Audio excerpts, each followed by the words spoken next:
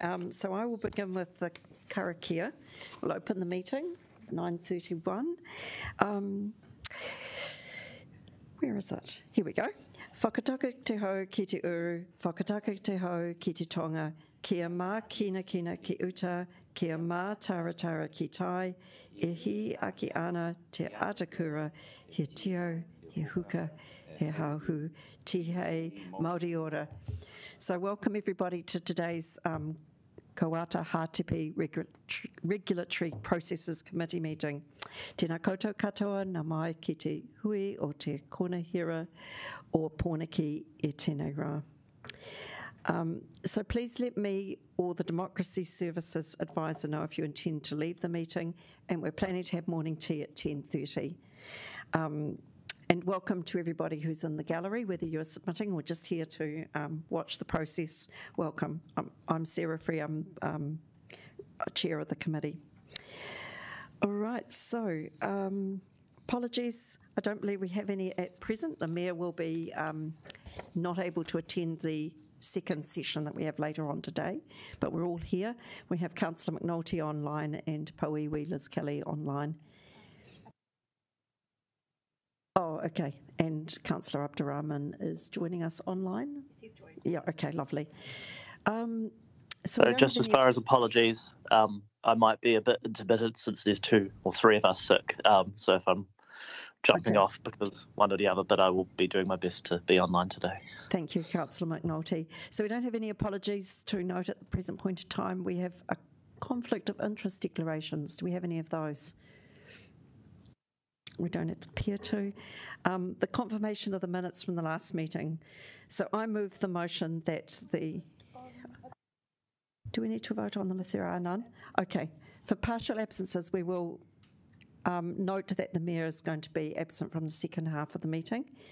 Um, I'll put the motion that we accept those apologies for her absence the second half of the meeting. Those in favour, please press one.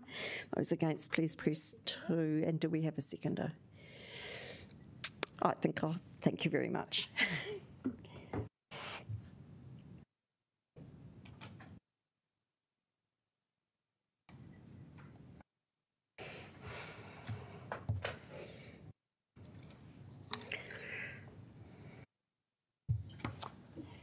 Um, so we're waiting on some votes for those partial um, absence for the mayor.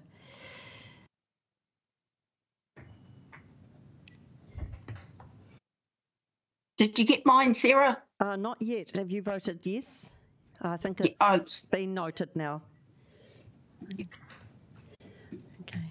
And that's been carried unanimously. Um, conflict of interest declarations, I'll just ask again, check. Do we have anybody with a conflict of interest? No, so that's fine. Confirmation of minutes.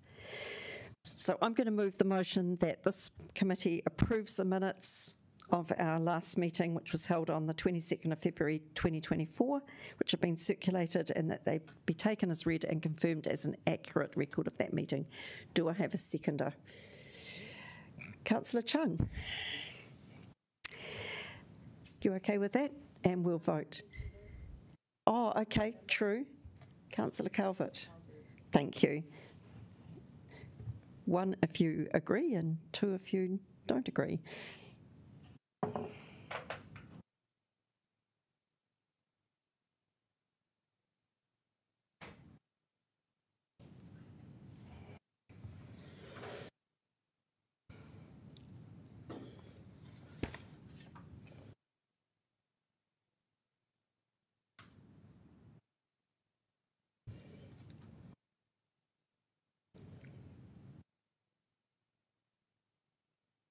And that is carried unanimously. We do not have any items which are not on the agenda and no public participation. So we will move straight into our submission process. So the first up is Tony Payne from Mary Potter Hospice. Tony, welcome. Um, you have five minutes, which needs to include time for questions. I know that's not much time, but we're all ears. No, that's fine. Uh, kia ora koutou. Um, look, thank you for the opportunity to speak with you again. I am here to tell you that the changes that you made to the Newtown parking scheme after the consultation that we took part in last year, have done little, if anything, to ease the problems that we think this, this scheme will create for us at the hospice. Can I offer you an assurance that we are doing all we can to maximise the use of the 27 car parks that we do have on site? Um, we're encouraging staff to carpool, we're encouraging staff to use public transport. Um, I rode my bike to talk to you here today. Indeed, such is the hospice's enthusiasm for cycling, is that Mary Potter Hospice came first in the uh, Love to Ride challenge for the Wellington Healthcare Organisations with staff of over 100. um, so we, we are really embracing, we're trying to be good citizens here, but can I give you a, a couple of scenarios that this, this scheme will create for us?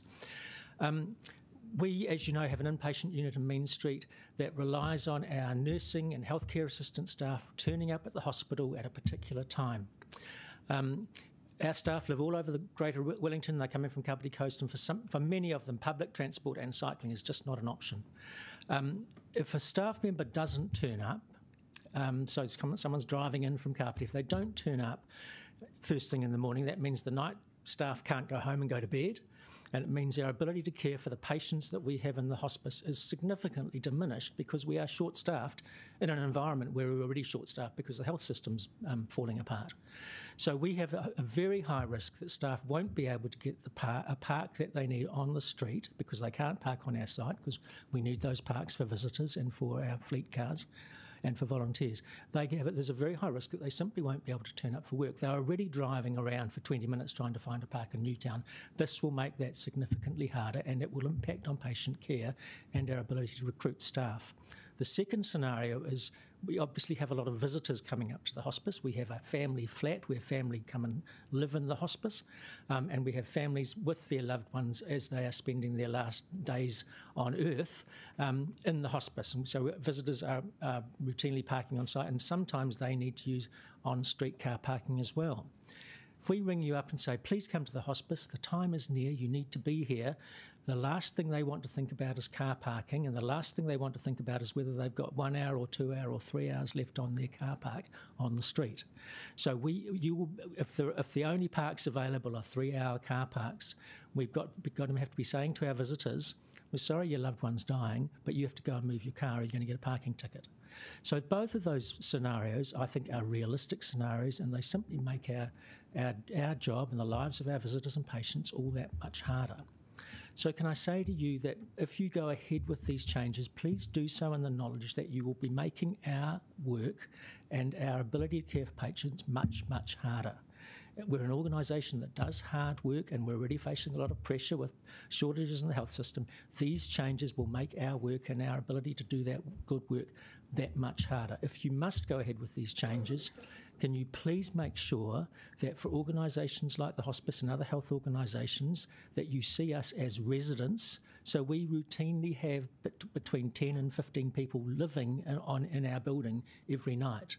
So see us as residents and provide us with a significant number of residents coupons so we can use those coupons for visitors and for staff and a significant number of visitor car parks, uh, visitor coupons so we can use those for visitors. Um, we would love it if you could provide those to us at no cost. We're a charity and we already run at a deficit. Um, so if you must go ahead, know that it will make things for us harder, and please try and ameliorate that by providing us with a good supply of the of coupons that we can use, so that we can make use of the the car parks which we need, which are car parks that are available for eight hours on the street. Thank you. Um, thank you very much, um, Councillor Rogers. Thank you very much for um, coming in and, and, sharing your experience at the hospice. Um, in some of that, you talked about people who were coming from quite far to work and, and a lot of different scenarios that were impacting your organisation and the care you provide. I was wondering if you had had some thought about what the underlying issues were around the access to the hospice. For, in your experience, is it that people can't afford housing or the public transport isn't good enough? Or oh, I think it's just where we, we our workforce are, are, professionals who are nurses and doctors and social workers and OTs, and they live in different parts of the city. Mm. Um, if if you need to be at work at seven o'clock in the morning, the public transport system, and you have to take two buses, the public transport system in Wellington is not good enough to guarantee you're going to get there at seven o'clock in the morning. Mm. Um, the buses um, don't come up Mein Street, so if you are if you are if you're a visitor and you're frail or you're, you're elderly, you have to walk up the hill, and that's a that's that's a challenge. Um, and we know Park and, and Newtown's hard to get to. Mm. I mean, so there's a there's a perfect storm here of things that make it hard to get to Newtown. Yeah. Um, so, yeah, so those I think those are the biggest barriers. And then we have a very limited number of car parks mm. on site. Yeah, thank you. Councillor Chung, I will let you, but it will need to be tight. Thank you very much um, for coming this morning, Tony. I really appreciate it and appreciate the work that you do. Um, you were asking about residents' car parking. Um, how many of those would you actually require to cover the um, the staff that come in? That we, we we've done we've surveyed our staff and talked about where they park. So we have during the week, during the day, we have 50 staff a week so about about ten a day who who park on, currently park on the street and park and do so for eight hours. Mm. So so ten a day would be would be the, the number that we're looking for. Okay, great. Thank you very much. Thank I you. absolutely support this, so we'll help you in any way I can. Thank, Thank you. Councillor. Thank you very much. Um, we are out of time, but it's been really useful hearing from you in person, so thank you. Um, right, we would move now to James. Uh, or is, is, James still coming? Yeah, James is Hello. online. Welcome, James. Kia ora, thank you. Um, yes, ko James Harris, takuingoa. I was just going to say it's five minutes, which goes by very quickly, which needs to include questions too. oh, thank you very much. Well, um, yes, I'm speaking just as a resident, not that far from the hospice at the south end of Coromandel Street. Um, lived there for 30 years. And I think this is fantastic what you're proposing. And I say that from the 30 years. I mean, parking's always been a nightmare living there. And I guess perhaps this is a challenge about Newtown and the planning is that everything's so local. So we have a very specific issue at the end of Coromandel Street, Colville Street. Those of you who walk through the Southern Walkway will be familiar. You go at the end of Coromandel Street, you walk up, the road gives up, heads up the hill, zigzags up. There's 10 houses up off that zigzag. We don't have street access. So what that means is that the 10 houses or 12, I think people are infilling, uh, when we have cars, they get parked down on the street below. So one street is trying to serve, one street of parking is basically serving two streets of houses. And it's always overloaded. The the survey that was done by Ora when they're putting in the new housing units there, 20 housing units on one side of the road, 16 on the other. Um, they found over 100% usage of the car parks. You say, why? Because people are parking all over the damn place. Um, and it's peaking in the weekend. So, a couple of things for this policy. It's seven days actually matters. Um, we, we get overloaded in the weekend more than in the weeks. Um, and I think, similar to that point in the hospice, the visitor permit, the current idea, I think, is to have them booked in advance, that's really tricky. You know, registering cars, if we could have a sort of a generic permit, perhaps. Um, yeah, so that was my, my, my main points. Just think really locally when it comes down to the implementation. I mean, the basic concept's great, should be seven days a week. And um, I thought I'd just take the opportunity, though, in parting as an extra thing, is uh, think about pricing could be relative to the size of the vehicle, probably the area it takes up the streets are getting narrower because the cars are getting bigger. It's really noticeable. So thank you. Yeah, that's quite a good point. Um, uh, yeah, one I've thought about as well. we should make some small car parks. Um, yeah. Um, do we have any questions for James? Ah, right. Councillor Abdurahman.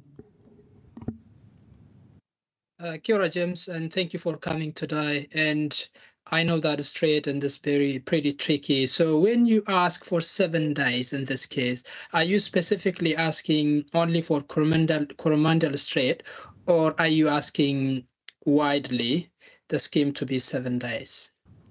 Um, and my, my second question to that is, how did you hear about this consultation? Did you get a chance to speak to our uh, officers and what the consultation looks like? Oh, thank you. Um, yeah, I'll do the process first. I've just gone through the public process. You invited consultation. Uh, we filled in the online thing, which I think got the results in your agenda. There's a box to tick. Are you willing to, to present to the group? So I said, yes, that, that, that, no more, no less. Um, yeah, on the substantive, the seven day. Yeah, and I think you know, like the hospice people point out. I mean, hospital and the hospice are seven day operations.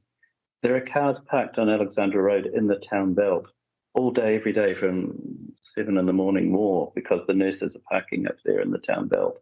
Um, I mean, I, I, I, hear what they're saying that the people have to come to work, but our fundamental problem is too many cars for the space.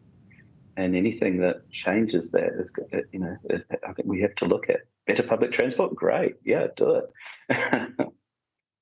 Uh, okay, thank you very much, James. Um, we appreciate you coming in and, and, well, being here online and taking the time to speak to us personally.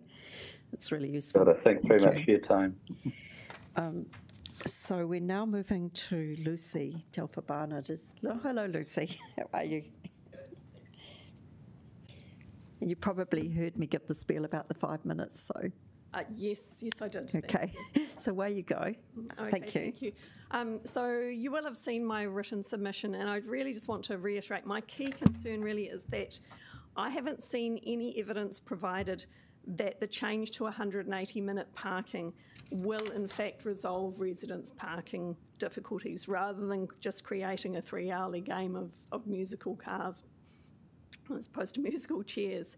Um, so I would really like to see that residents' parking areas, specified residents' parking areas, retained until it can be demonstrated that the new scheme has the desired effect on shifting those workers to other transport modes, because otherwise there's this this period where in fact it could potentially just make things worse rather than better for those of us who are trying to park there. Um, the other thing I want, also wanted to mention is, is again that, that need to ensure that the, the needs of people who are currently using residence parking with mobility stickers is addressed. So I know there's a family across the road from me who have a mobility sticker and they, or permit, and they have residents parking directly outside their house. If all of that became 180 minute parking, they wouldn't have that space directly outside the house. They would have to go in the streets roundabout like the rest of us, and I would just like to see something carved out in that space. Um, and then the only other thing that I'd mention just in regard to, to a recent submission is that um, Mary Potter Hospice did choose um, to build a residential um, apartment block on its own site, which created further parking pressure on our street. So I rather think it's the author of its own demise in terms of availability of parking. I, I, support what they do, but I think it does need to be the responsibility of workplaces in the Newtown area to provide parking for their workers where that's required, not shifting that problem onto the residents. And that is reiterated in the Wellington City Council parking policy of 2020, where it's clear that residents' parking needs outweigh those of short term visitors. Um, that's all for now. Questions? Yeah, thank you. Um, I had a question about the number of vehicles people have in, uh, in their own homes, you know, for their own use. I see you've only got one. I, I can see pressures just getting worse in this direction. How feasible do you think it is for most people in Newtown to just manage with a vehicle, one vehicle per household?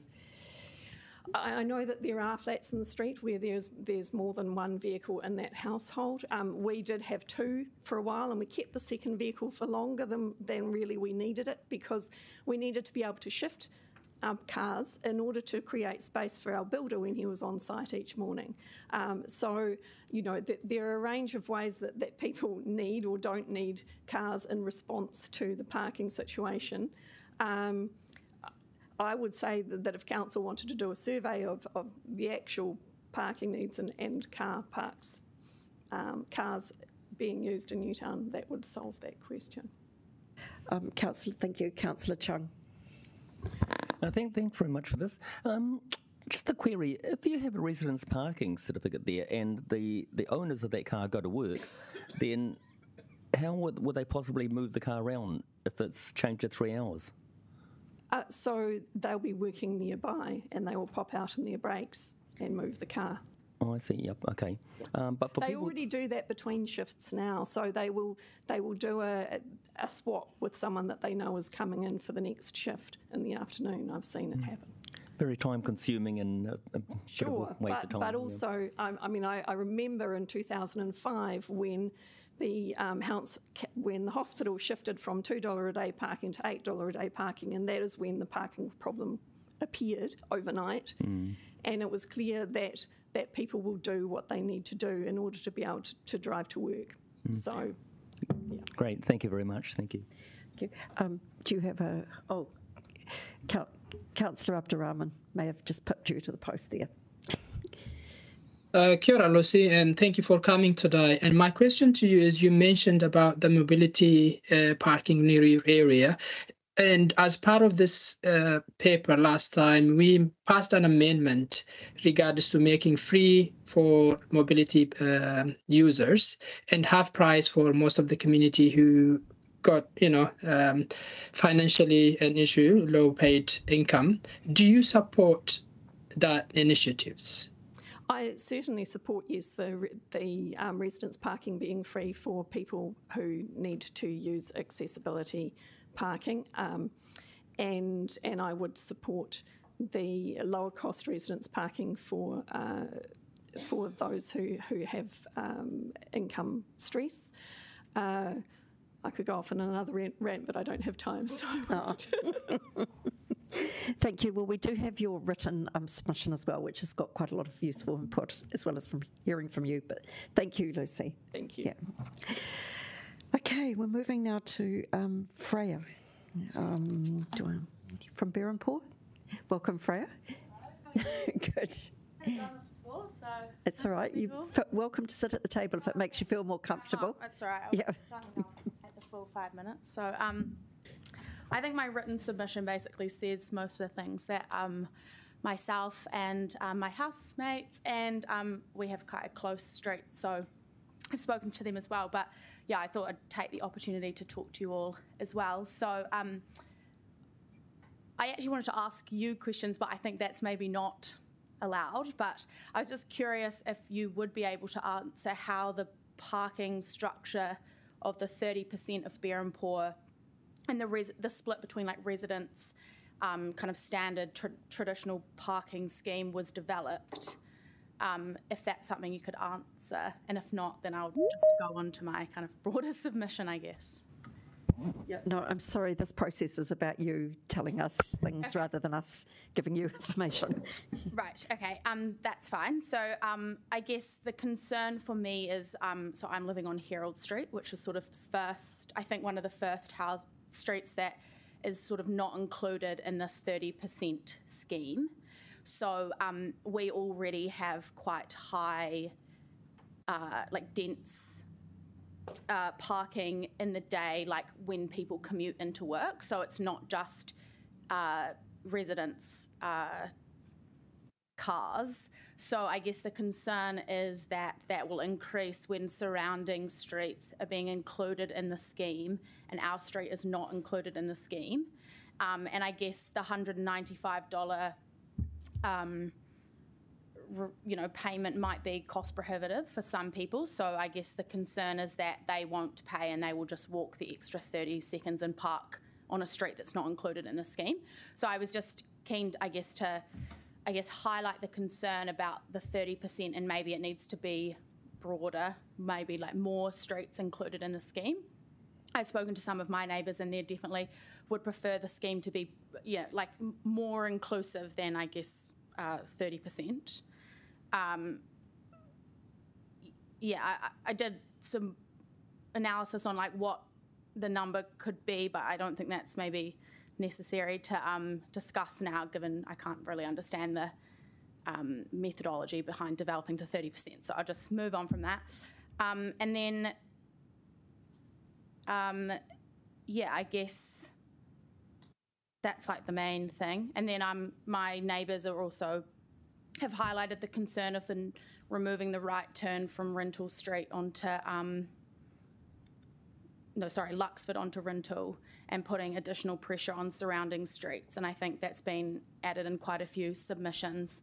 And at the moment, they've just put the um, over the last two weeks, they've put um, a zebra crossing on that, uh, just on that corner, and um, they kind of blocked off the right turn already, and it was caused significant traffic going round. And so I guess we just already had, a t- taster over the weekend and last week on what that could look like moving forward. So, um, yeah, that's basically the things I wanted to highlight.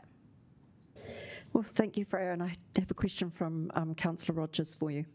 Thank you very much for coming in. Um, yeah, I'm totally agreeing with you there that, you know, when you do draw this line about limited parking uh, availability, people do tend to just move over that line. Um, I guess my question would be sort of if we had to put a line somewhere, where would that that go? Um, sort of how far out? Is this something that needs to be more of a citywide approach, or did you have any sort of reflections on that? Yeah, well, I mean, the methodology I would have taken was to sort of map out um, people who have off-street parking in the whole area, understand how many cars are in the area, and then work a, work out a number based on that um, methodology. But obviously, I don't know the methodology you guys have done, but that's just what I think would make sense because, yeah, obviously, the number can't be like an arbitrary number. Otherwise, it could be 30 or it could be 40 and then those people who are at that boundary would then have maybe the same issue. But perhaps, yeah, if it was done on, I guess, like a user and off street parking kind of method, then it might be a bit more, I guess, transparent onto how the, the numbers developed. Awesome, thank you. And Councillor Chung. Thank you very much, Freya. Um, you mentioned about the turn from Rintoul Street into Luxford Street causing some issues.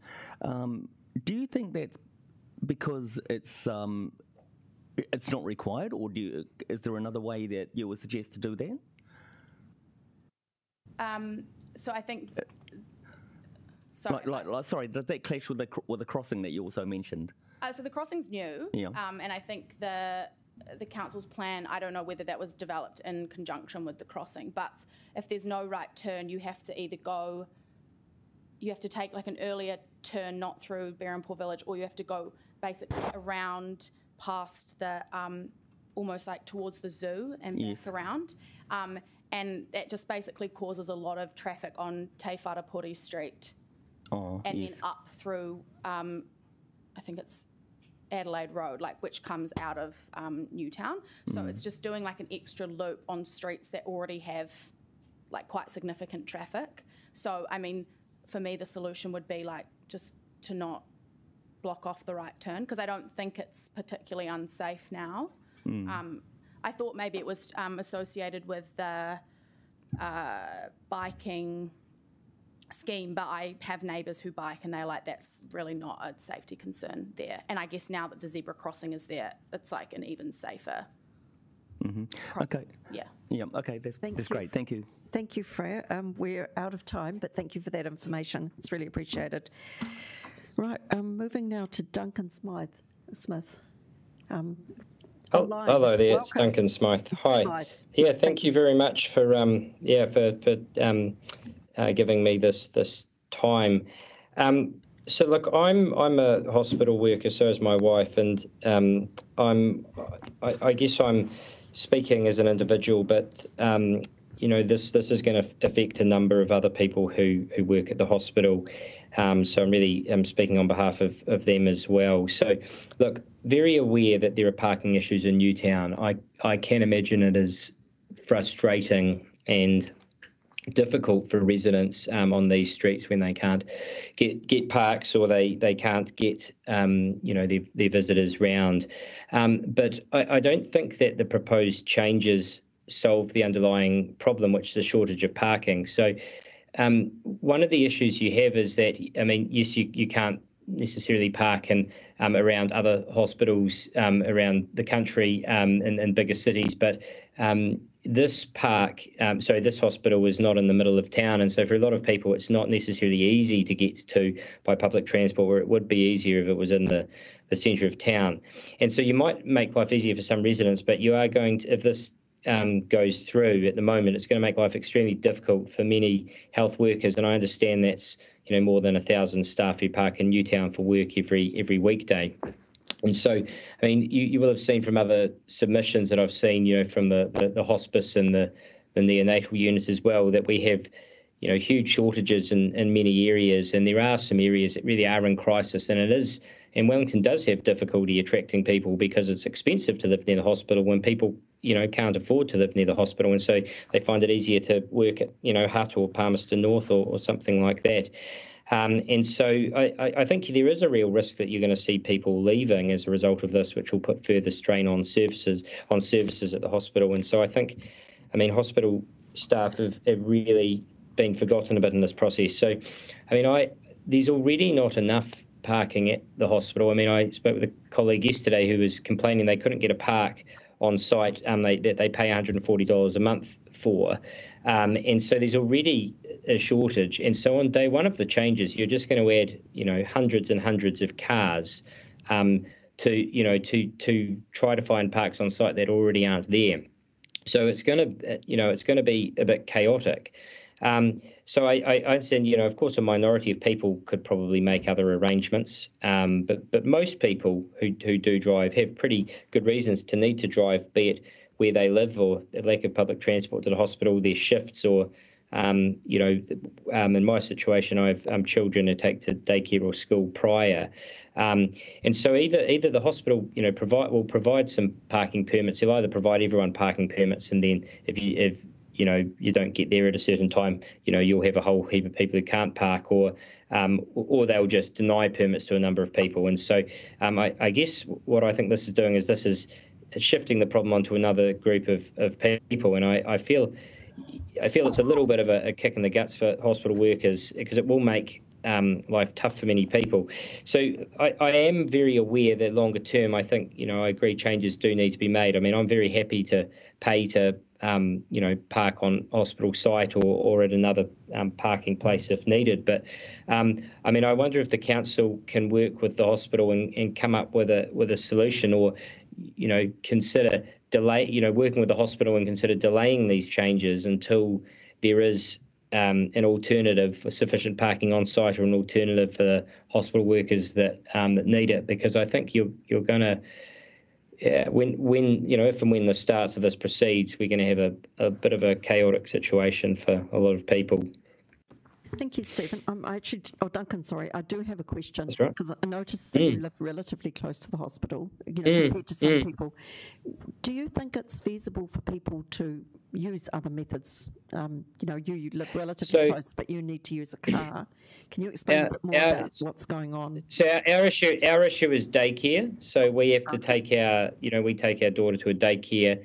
Um, uh, and uh, it's, it would be very difficult for us. We can't really get public transport to the daycare, and so um, you know we could we could yes we, I could take a bus if we're going directly to the hospital, um, but it's the daycare. It's going to the daycare and then getting to the hospital. That's difficult, and we're already very time pressured as it is getting our child to daycare before um, sort of after daycare opens and before before work starts. So if there was no daycare for me, I would I would be fine. I mean, the, the only other thing we could we could do would, would just be um, it would really be cycling, buying e-bikes, but it, it is difficult with young kids and and um, you know in, in the middle of, of winter and it, um, and uh, yeah, it, just with um, with with weather and with um, uh, with with hills and things, um, you know, it can it can be a bit difficult. Um, but um, for, for say for a lot of people, it's it's it's sort of where um, it's, it's sort of where they live. But yes, I, I, do live relatively close, but it's the school and daycare mm. issue which makes it difficult yeah, for me personally. On the spot, but it's useful to understand some of those kind of nuances. No, no, yep. Yeah, absolutely. You. Yeah, um, we have actually run out of time. I'm really sorry because it was very useful information. No, okay. Thank you very much. Thanks um, for your time. Thank you. Um, Stephen, welcome. Um, just find a good spot for my speech. All right, kia ora, councillors. I'm Stephen. I'm a resident, dad, and registered nurse who lives in Newtown.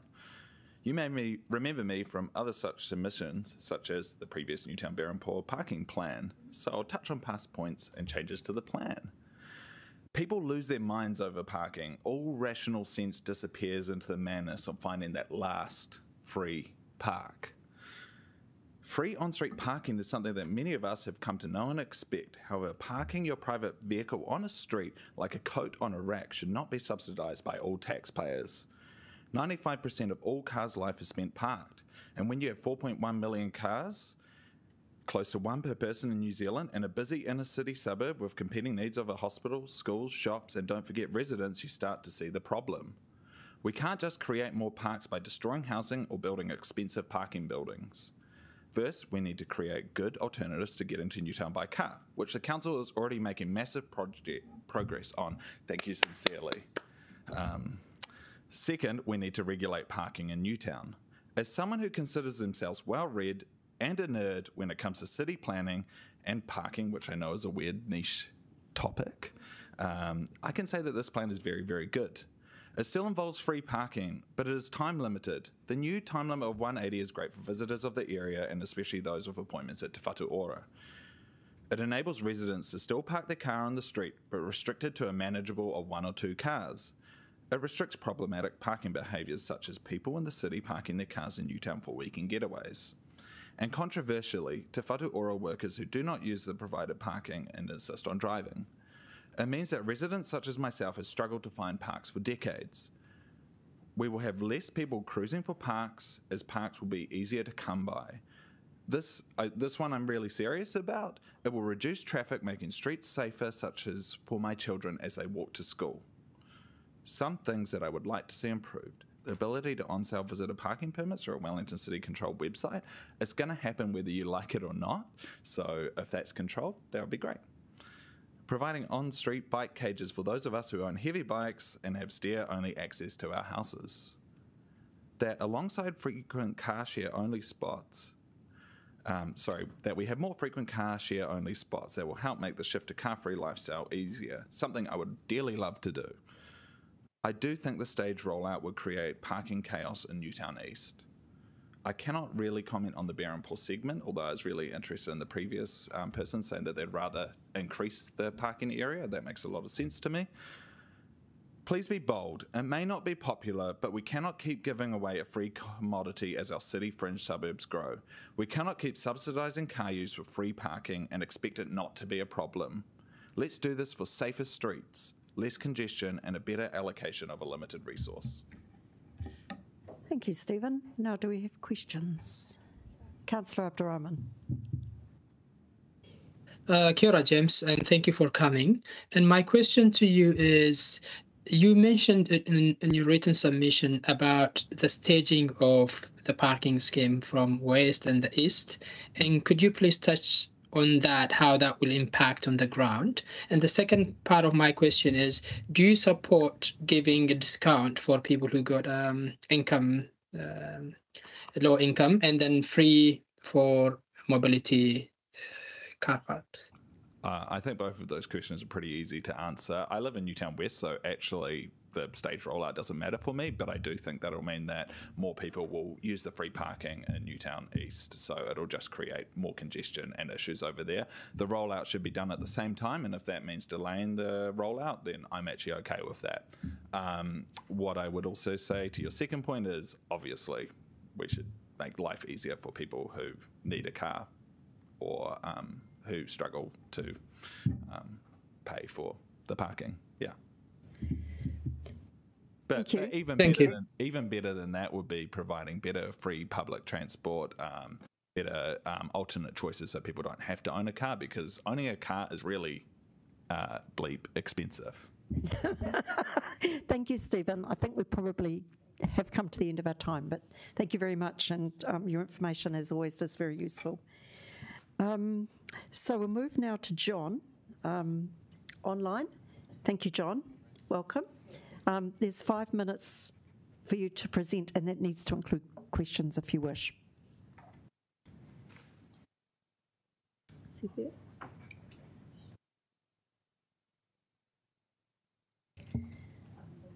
Okay, well, Mike, John, are you there? I'm wondering if we move to the next person and then come back. So, Gavin, are you online? Uh, yes, I'm here. Oh, lovely. We, we're ready to hear from you if you're ready to speak to us, and it's five minutes, which does need to Yep. include questions. Thank you very much. Thank you. Um, living in Newtown on Daniell Street, opposite a church and a stone's throw away from Mediterranean foods, um, figuratively, not um, realistically. Um, I like the details um, of the proposed change. Um, I think the stated objectives and the considerations that you've made for residents of all types are really good. Um, so overall, I like the design and the engagement that you've done. Um, and I know that living in the area for a number of years, um, doing nothing is not a solution. The status quo is um, uh, not sustainable. Um, I've made some submissions on this change, spoken to your teams at one of their outreach sessions, um, which was interesting seeing some of the vitriol that was thrown at them by others. Um, and during COVID, I attended an information session, a seminar on the economics of residence parking, um, which has informed my opinion. Um, the key thing I want to point out is there are some areas, like was mentioned at the end of Coromandel Street, where there are um, pressures on parking um, at the weekend as well. Um, I live on Daniell Street, opposite a church, um, and like I said, very close to some very successful um, restaurants, which I'm not complaining about. Um, and um, I think it's a, it's great that they're, that they're there and they're doing well. But there are uh, a number of pressures that on well on Saturday mornings, um, all of Sunday, there are often the churches having events all day, and um, the parking in the whole area will be um, um completely and utterly full. Um, it can be very, very difficult to get a park, and if there's a event on during the week, that's that's the odd thing. You know, you could learn to live with that. Um, it's just the fact that it's not the whole of Newtown. Um, as was mentioned by the earlier speaker, there are pockets due to um, um, the geography of where, where houses are um, and where associated businesses are. That there are a lot of pressures. There'll be a lot of other people who are living near um, places where they um, they'll have pressures as well. But I think where we are on Daniell Street, you've got the hospital relatively close. You've got the church directly opposite um, and you've got um, uh, multiple um, very nice um, eateries nearby. Um, on weekends, um, it can be very, very difficult to find a park. The only the only blessing is there's a residence parking right outside where we live. incidentally, when there are issues with residence parking, i.e., people non-residents parking in there, it's almost impossible to get anything done about it because the cars don't get towed. Um, so um, one of the things I'd hope for is um, more, uh, well, a better enforcement of um, of the new rules. So I agree with it. I like it. The status quo can't continue, and we'll be in a worse position if we do nothing. That's my solution. Thank you. That's very succinct. Uh, do we have any questions? I'm quite interested in you saying the status quo can't continue. I, I don't disagree. Um, but ha- how have you seen it change even in the last few years with parking pressures? Um, well, the biggest thing was Mediterranean foods um, uh, changing to a rest- mainly a restaurant um, from a store, so uh, uh from a store. So um, and you've got you know, Chichi around the corner. You've got the Mexican restaurant um, and others around there. And um, there's a lot more, a lot of people in Newtown during the weekends, which is a, which is a success. It's a th- thriving community. Um, it's the whenever there's an event on, or well, quite regularly on a Friday or a Saturday night, the area can be um, absolutely packed. If the church has got an event on, which it often does, um, that's um, uh, that's interesting. One of the things we've noticed about the church opposite is often you, they've got a lot of underground car parking. They often don't open it up until really close to the service. So they wait for the streets to fill up around the church, and then they, at the last minute, they open up the car parking for some of the people to get in there. Um, but um, I think just with more commercial activity and more opportunities for people it's um, um, that's what's actually changed the numbers of people. Okay, thank you. Um, we have a quick one from Councillor Rogers. Are you all right, are you? All right, well, thank you very much. That's interesting and that, uh, yeah, that detailed local knowledge is really helpful. Thank you very much. Um, we'll move now to, um, oh, well, actually, John. Have we got John online now? Yes. Yes. Kia. Welcome, John. Apologies. Apologies, I had some technical issues. Um, kia ora, councillors. Hey, um, I'm here as a resident of uh, Newtown, and um, I'm really just here to say that what I think uh, you're proposing uh, seems pretty reasonable. Um, and um, I can see that you've got a really tricky task here. You know, you're balancing a whole bunch of competing demands for a hotly contested um, public resource. Um, and in my view, the updated scheme seems to provide a pretty sound set of criteria for effectively rationing um, that resource. So, um, you know, you're balancing the needs of residents and visitors and, and so on. So um, the changes that you've made um, to the proposal, I think, are good. Um, and I have a couple of suggestions um, for you to consider to improve it further. I can see from written submissions that there's some pretty strong opposition to the proposal from some submitters. Uh, I, I think a lot of it, I guess a lot of this is about expectations. Um, there's many other parts of the city that don't have free unrestricted parking, and, and in the time that I've lived in Wellington, um, it's actually mostly been in places with with parking restrictions. So maybe I'm just used to it, but I I think what you've proposed in this particular scheme is more generous and maybe more flexible than say coupon parking. Um, as a resident, you know, coupon parking, you only get uh, two hours, visitors only get two hours free. You don't get those free visitor passes and in areas where there's a lot of residents only parking, it can be quite tricky for visitors. So I, I actually think this is um, broadly quite quite workable. Um, and if you can make that user experience for the visitor passes good, uh, and the trade coupon system is easy and practical, then then to me, um, I, I, think it seems reasonable. So um, there's a couple of uh, tweaks that I'd encourage you to um, consider just to round out the scheme and make it more workable.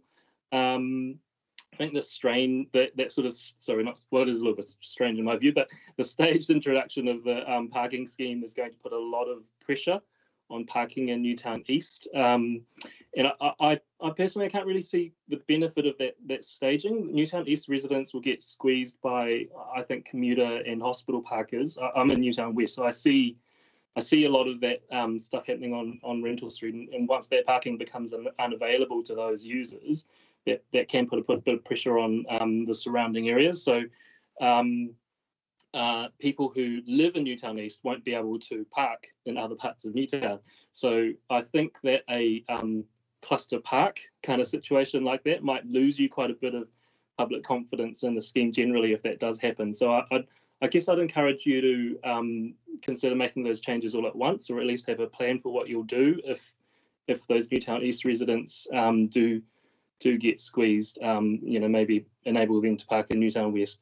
Um, in my written submission, I um, suggested that uh, you perhaps allow more parks uh, parking permits per household, but but just kind of differentiate the pricing. So um, the purpose of that would be to allow for a wider range of households, um, household types, you know, with flats or people who have um, various, you know, work or business vehicles um, they may have that need uh, to have more vehicles, but uh, their willingness to pay might be is potentially higher.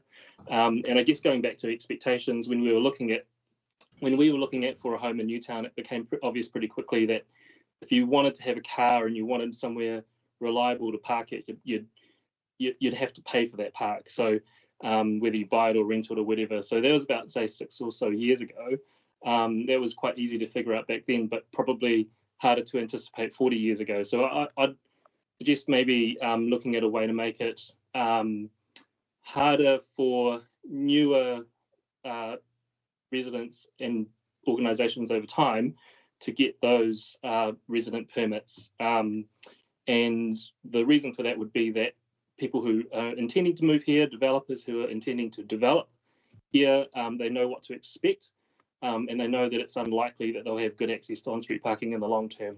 And I'd really like to see that um, the parking scheme, as it's rolled out more broadly, um, help set those expectations over time as you introduce it to um, areas that you're looking to intensify. Maybe that's a mechanism to help.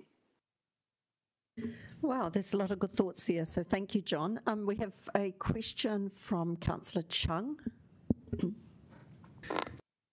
Thanks very much, Need John. Um, appreciate that. Um, just a quick question. Um, you were saying you mentioned that you would think it's a good idea to extend um, the availability of residence parking um, vouchers to actually um, to enable people to have multiple cars in, in a property.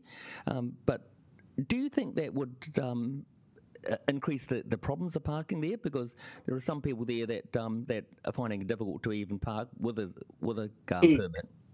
Yeah, it's a tricky one. I mean, I guess so. So um, I don't remember the exact number, but you, you did a parking survey some time ago, maybe like about a year ago, um, and it was around eighty percent of household households had about sort of I think one or two vehicles. Um, it's not that many households that have more. The reason where I'm coming from is that I, I, I quite like the diversity of Newtown. I love living here because you've got different types of households and uh, where people might have more vehicles if you price it accordingly. So if it say costs, I don't know, three times as much to get a, to get a, a, a residence park for your fourth vehicle, um, that that can put a natural cap on it potentially. Um, it's just something to consider. I, I I I would have thought that by pricing it, um, using a pricing mechanism, you can control that you can control that demand a bit more. So I wouldn't Okay. I wouldn't charge the same amount. Thank you very much. I think there are some technical difficulties actually doing that with the laws we have, but um, it's a useful idea. appreciate And that. thank you very much for your um, submission. We've run out of time, but thank you. Um, Steve, thank you. Welcome. Oh. All yours. Kia ora, uh, councillors and others. The, I'd like to introduce Michelle, who's not been with us before. She's uh, supporting me in the residents' uh, um, submission here. The Resident Association, of course, is represent, uh, represents views from all over Newtown. We, contrary to some media reports, we have had a plan for many years that would have provided 30,000 additional homes in Newtown. And we do support the growth and vitality of the of the suburb. We're, we're pleased you made changes to the um, early feedback we provided to this, this particular plan. Uh, we have been uh, asking for some sort of uh, support with the um, uh, for parking for many years, and it's good to see things happening. And I should get rid of that. Our main concern is that um, what we don't believe that one plan can work for the whole suburb. And we've seen people talking about this just, yeah, well, well, in 10 minutes I've been sitting here, that we need some sort of scope for variations. And two examples we have are Balmoral Terrace, which we've been talking about for a long time, and also Roy Street have some quite unique uh, challenges. Um, uh, not sure, I should have gone down there over the weekend when the, when the national track meet was on. I very much doubt there's any parking on Roy Street for the weekend because they have the Newtown Stadium there. And so let's see, something we would ask that there be thought to how that can be, how we can have more direct feedback. In the early stages, we were promised this would happen, but we're not sure that it uh, did in a meaningful way from uh, discussions with our members and others. The, and you'll hear more about Roy Street later when Peter gets to talk about it. We also asked the council to support the hospital in building more parking of their own for staff and patients. We've been discussing parking with hospital authorities since before the hospital was built. Um, and there have been some changes, but the overall overall hasn't been enough change there apparently. So we're told by their customers that, and that's a problem both for patients uh, who may not know where to find parks in Newtown, and for presumably there are some staff uh, who do have uh, have to bring a car. Um, the, but of course, we acknowledge too that the regional council's put on the Hospital Express bus, which seems to be good, and it's running again now, which was wasn't for a little while there. And so we're making progress, but we do ask that you specifically work with the hospital to see how they can improve the parking that they offer. Uh, the we that's the extent really. You've seen our written submission. Many of you have been listening to us going on about this for uh, quite a while, and yeah, we're, hope, we're open for questions, aren't we? Thank you, um, Steve and Michelle. Oh, yes. I wasn't going to talk, but since sitting here, um, an experience of having to deal with mother-in-law that was very sick and having to bring her in from Kapiti to the hospital and being in the A&E for long hours, the stress of worrying about car parking really added to it. And I know we live in Newtown, but we needed to drive straight to the hospital, sit there for 10, 12 hours, and then run backwards and forwards and wait to see what's happening. And I think the biggest thing is it's easy to talk about the residents of Wellington, but it is a suburb that has people coming in from out of town.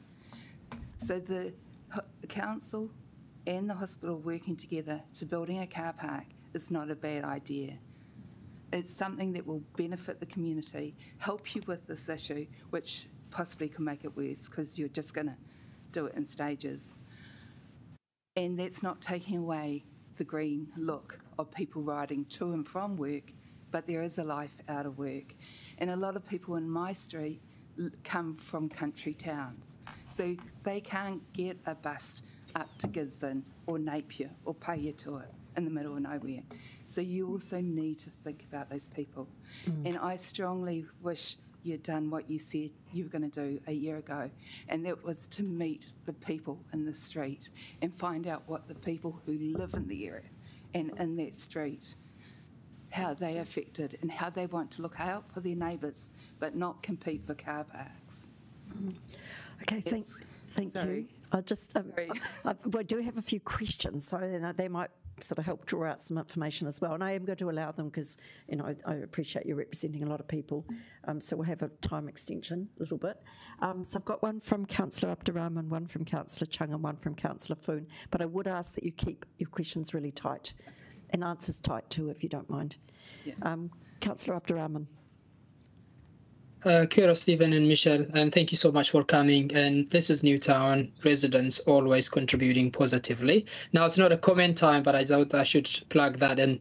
And my question is how much of that consultation has happened with you over the last six months?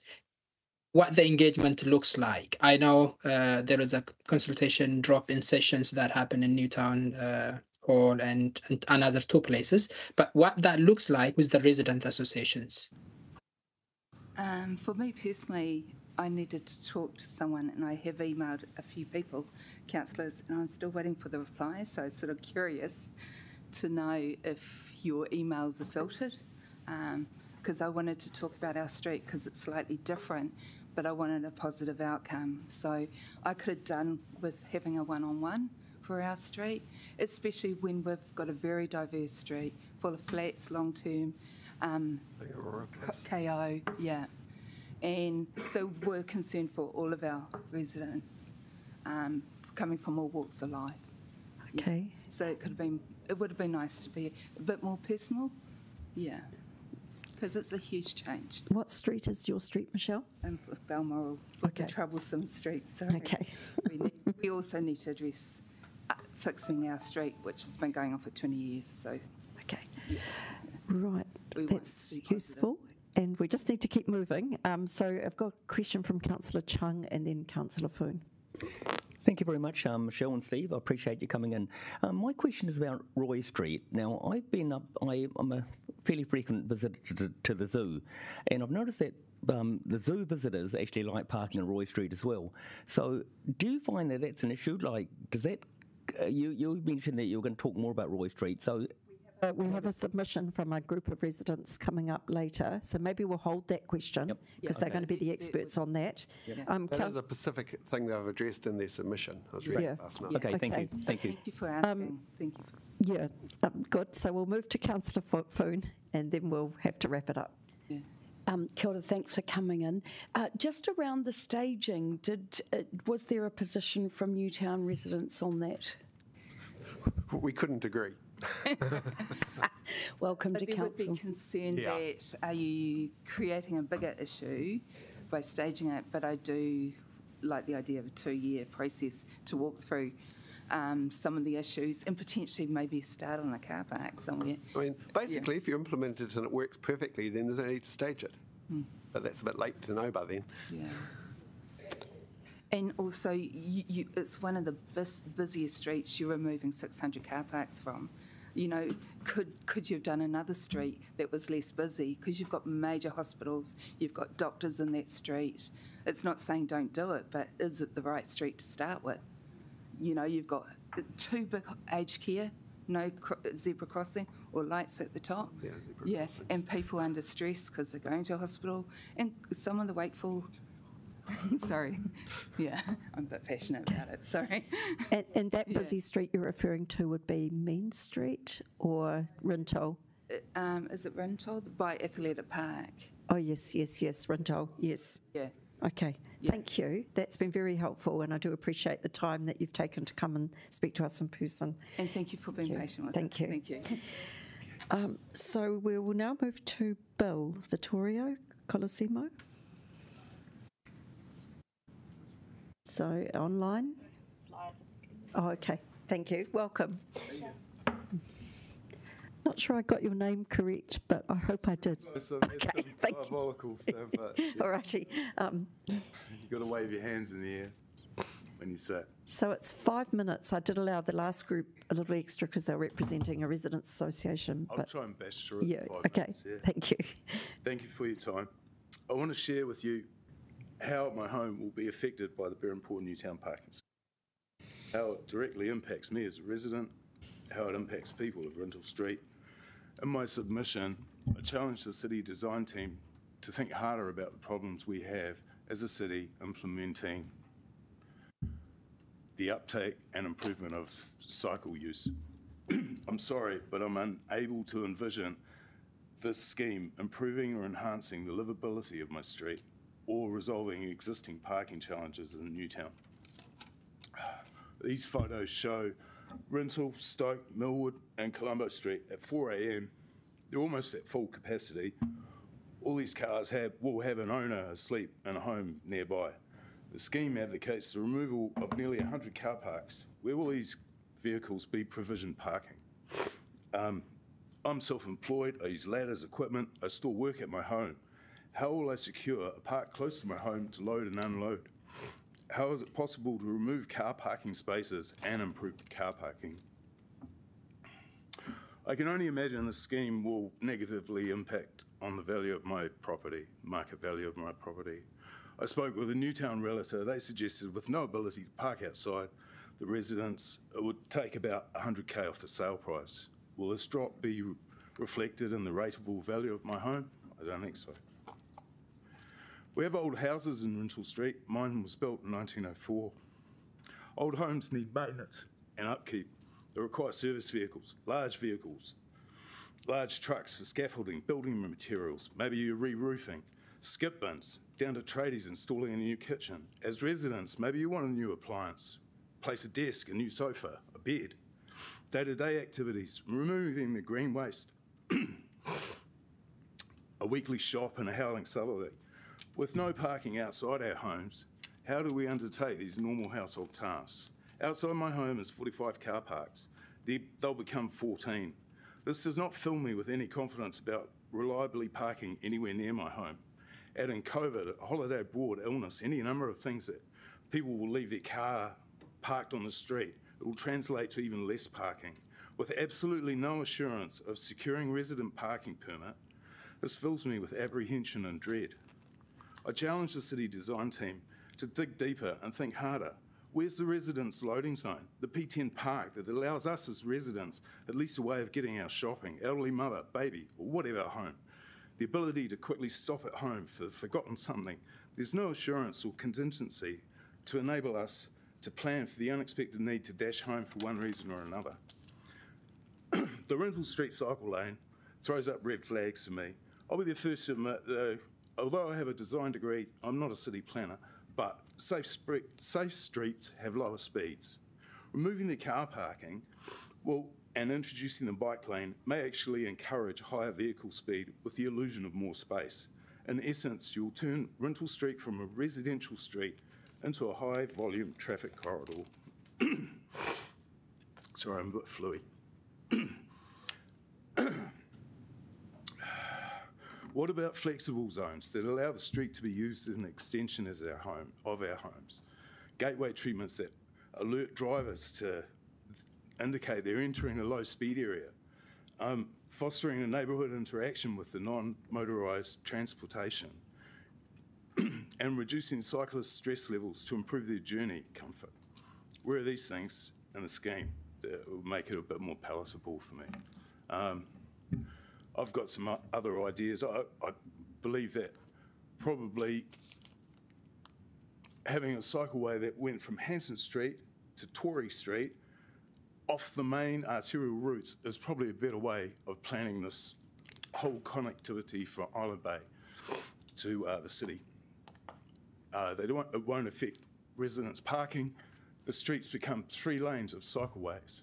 They, uh, you can just go straight there. There's one intersection at John Street, and you can change a few of the stop signs, and boom, you've got three lanes. You can have cargo bikes. You can have maybe potentially people like tradespeople on bigger bikes cycling from Island Bay to the city. Um, yeah, anyway, that's my thoughts. Thanks. Thank you. Now, do we have questions? Councillor Chung. Thanks very much. Um, regarding Hanson Street, you are you suggesting that we run a uh, cycle lane down there because that's actually very narrow as well, wasn't it? No, I'm, I'm suggesting Hanson Street is the ideal street for a cycle lane. You don't take the parking out. You have that as a, that road becomes a cycle lane. There's no through traffic. You can't mm. you can't do the rat race from. That's how I used to take Quickways home from town to Newtown. Mm. I used to go down that street. It's a straight line to Tory mm. Street. You can if you stop off, the, if you if you block off the intersections, put stop signs on them. The cyclists have a straight journey. They'll stop at the lights at John Street and you can mess around with those. You can make it easy for them to cycle through. They can be timed for cyclists to get up that little rise around John Street, and boom, there. Uh, I mean, you've got you're not impacting the residents. The residents, people can play in the street when there's no cyclists around. There's no cars going through there. Mm. Not like my street's absolutely it's diabolical. It's going to be a mess. Mm-hmm. Anyway, great. Mm. Thank you. Thank you. Thank you. Thanks. It's very passionately put. Thank you very much. Um, Right, well, we, our last um, submitter actually is going to now come in the afternoon. So we are finished for the morning session, but we do need to formally move that we adjourn the meeting until 1.30 p.m. So I will move, um, I'm just trying to look for my exact words here.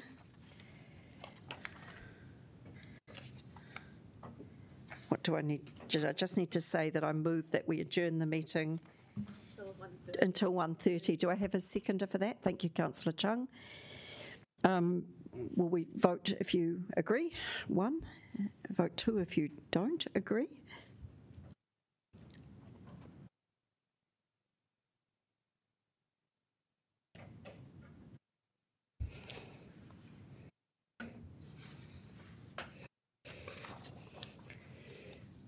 Um, do we still have Ben online? He may have had to duck out Ben? Sorry, just okay, to good. Run. yep, um, a yes from me. Okay, so that's been agreed. So we'll now just adjourn the meeting. Um, thank you for your attention so far. We will regroup at 1.30 p.m. Thank you.